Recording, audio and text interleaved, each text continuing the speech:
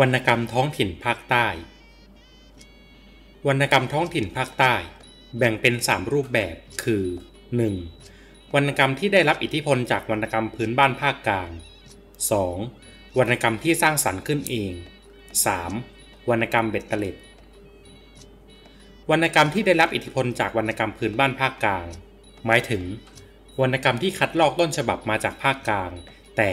ผู้คัดลอกนำมาปรับปรุง หรือเปลี่ยนแปลง เนื้อเรื่องบางตอนตามความคิดเห็นของตน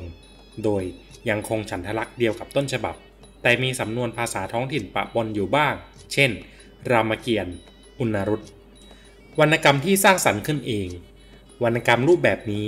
เป็นวรรณกรรมที่กวีพื้นบ้านภาคใต้นำโครงเรื่องมาจากภาคกลาง แต่ประพันธ์ขึ้นใหม่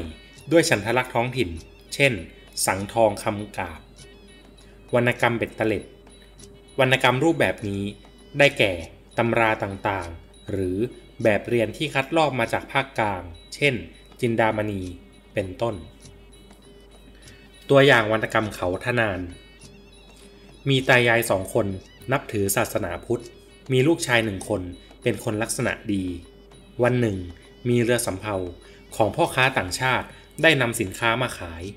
ทั้งสามคนไปชมสินค้า ขณะชมอยู่นั้น นายสำเภาได้เห็นลูกของตายาย จึงขอเป็นบุตรบุญธรรม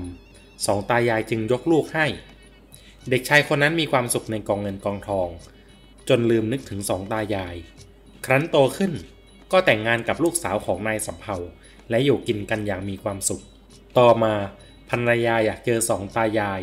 ลูกชายจึงส่งข่าวให้สองตายายทราบล่วงหน้าว่าจะไปเยี่ยม แต่พอเจอกันชายหนุ่ม เห็นสองตายายจนมาก จึงไม่ยอมรับว่าเป็นบิดามารดาของตนและหนีไป ตายายทั้งสองเสียใจมาก จึงสาบแช่งลูกชายว่า หากเป็นลูกชายของตนแล้ว ขอให้ออกจากฝั่งนี้ไม่ได้ และให้มีอันเป็นไปต่างๆ นานา แต่ก็ไม่ลืมที่จะวางหมูย่างไว้ในเรือทำให้เรือสำเภาที่ชายหนุ่มนั่งนั้น แตกเป็นสิ่งเสี่ยงตำนานเล่าว่าซากเรือสำเภากลายเป็นเกาะเพตรา สายสมอ กลายเป็นหินใสายสมอ ตะบัน เป็นภูเขาตะบัน หมูย่าง กลายเป็นเกาะสุกร เครื่องตวงสินค้าในเรือ กลายเป็นเขาป้อย เขาแล่ง และเขาทนาน